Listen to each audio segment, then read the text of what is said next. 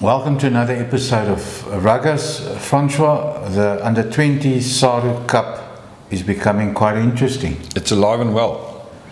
Very alive, yeah, except for Eastern Province, they're not alive. If we can start with that Yeah. uh, uh, uh, result 68, no, 63 13 to the Cheetahs. Yeah, The Cheetahs playing their first game. yeah. And uh, E- and EP playing the, I think it's the third one, Second one. second one, yeah. But um, one-way traffic in that one, unfortunately. Yeah, luckily for the EP, they can't lose uh, Saturday coming because they're simply not playing. the second match was the Lions against the Leopards. Leopards. 24 14 for the Lions. Personally, I thought it was going to be a much bigger score. Yes, they definitely. I mean, uh, looking at the Lions Lions team, but um, yeah. So kudos to the Leopards. Yeah, but apparently, uh, the feeling was firstly, the Lions underestimated the Leopards. I can't see that. Yeah. yeah. Uh, the Leopards completely dominated the Lions up front. The scrums, and I mean, the Lions scrums against Eastern Province was unbelievable.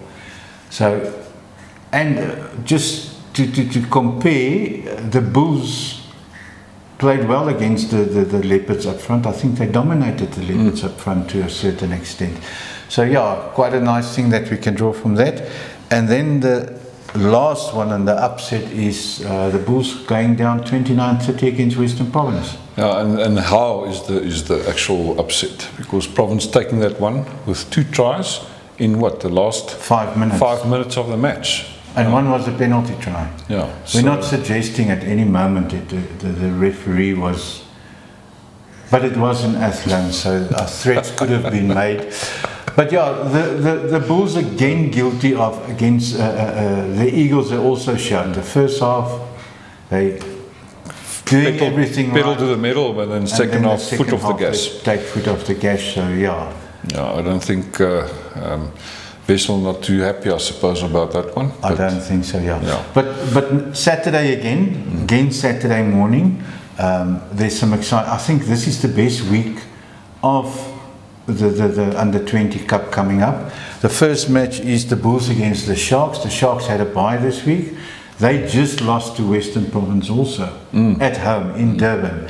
So that'll be quite an interesting match at Loftus. Um, yeah, I think personally, I think that the Bulls is going to start sending uh, boys back from the Curry Cup squad um, to help Vessel because, like we said, the Bulls like their trophies and everything. Um, so yeah, that'll be quite interesting to see who, what players are going. Come and bolster the under 20s. Yeah. And I know Neil Leroux is uh, he's recovered from his injury, so he will definitely play also on uh, Saturday. The speed of Neil Leroux behind the scrum and the other scrum halves is a major difference. And if you watch the type of great college rugby that Wessel plays, it Fits right into his game plan. yeah, they, he needs speed from your number nine, and I think that's where they struggled this weekend. Um, the second game is the two unbeaten sides, sides Lions against Western Province. Yeah. Look on paper, Western Province is probably the favourites, but then again, yeah, I don't know. Let's see. Yeah, it's, it's, it's in Johannesburg. That, that might be quite a, a, a, deciding factor. Um, but yeah, let's, let's hope for the Lions, the under 20s carry on with their good form. Because at this stage, it's probably the, the best form of the whole union at this stage. Yeah. Um, But personally, I think the Lions must be the favourites, according to me, because um, they're playing good rugby. They've got brilliant talent once again. They, their back of forwards is massive. So let's see if they can put one over Western Province. And then the last match that's going to be quite interesting is we're going to see Free State against the Leopards.